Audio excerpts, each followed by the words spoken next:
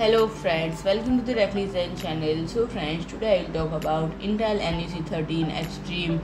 So friend, Intel's upcoming NUC 13 Extreme codename is Raptor Canyon since July this year with the compute element module having leaked back in August. The chassis has a volume of no less than 13.9 liter which is bigger than many many ITX cases and friend the main reason for this is that NUC 13 Extreme has enough space for a triple slot GPU although you are hoping to put a GeForce RTX 4090 inside then you are out of the luck. It seems to be limited. The length of an RTX 3080 or Thunderbolt and compute module appears to change somewhat from early leak and it is possible it just wasn't a very good render. And friend it comes with range of CPU option and it was confirmed during the stream that will be handle a full core i9k without specifying which model and friend, the Intel rep mentioned a highly optimized heatsink which appears to be something along the lines of a modified GPU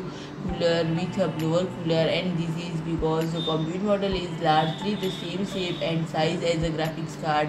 And when the chassis looks like a bit of a nightmare to deal with it has a lot of removable parts to allow access the inverse of NUC 13 Extreme. So friend if you like my video please do like share and comment and don't forget to subscribe my channel and press the bell icon